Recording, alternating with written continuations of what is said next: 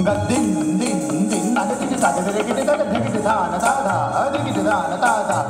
da, da, da, Катхак – один из стилей индийского классического танца, зародился в древних храмах Индии, совершил настоящее путешествие во времени сквозь эпохи великих индийских правителей и не потерял своей актуальности и, что важно, способности восхищать современного зрителя. Да и сам коллектив, который прибыл в Сочи, не только продолжает классическую традицию, но и создает уникальные танцевальные шоу в современных стилях.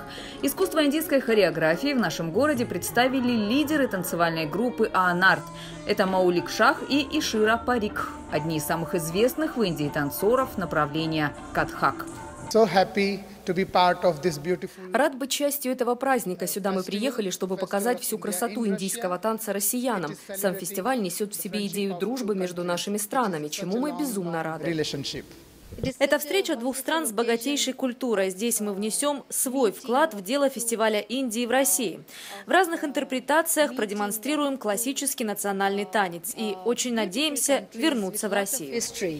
Завораживающая пластика, красочные костюмы и ориентальный колорит с танцевальными традициями далекой Индии. В рамках фестиваля индийской культуры в России сочинцы познакомились в Адлерском доме культуры. Первый фестиваль Индии в России состоялся в 1987 году. И вот уже 30 лет – это общая традиция двух стран.